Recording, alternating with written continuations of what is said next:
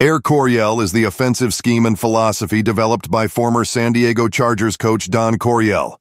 The offensive philosophy has been also called the Coryell offense, or the vertical offense. Norv Turner also implemented a version of the Coryell style of offense. The Turner version of Coryell's offenses relied on a good receiving tight end.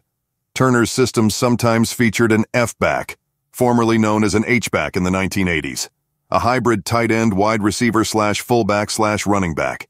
An F-back is a multi-purpose, unpredictable tool for the offense. On any play, he might carry the ball, lead block or pass block, play as a wide receiver, or run a tight end route. He is also part decoy, as his unpredictable role forces defenses to keep an eye on him, thereby opening up other opportunities for the offense, such as this year's Las Vegas Raiders first-round pick Brock Bowers.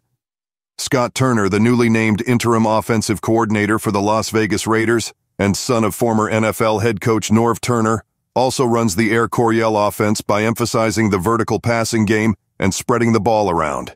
Vertical passing game. Turner emphasizes vertical passing plays. Spread the ball.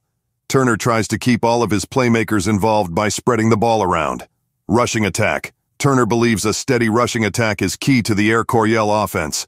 Go routes. In the basic form of the offense, four receivers run straight down the field on go routes.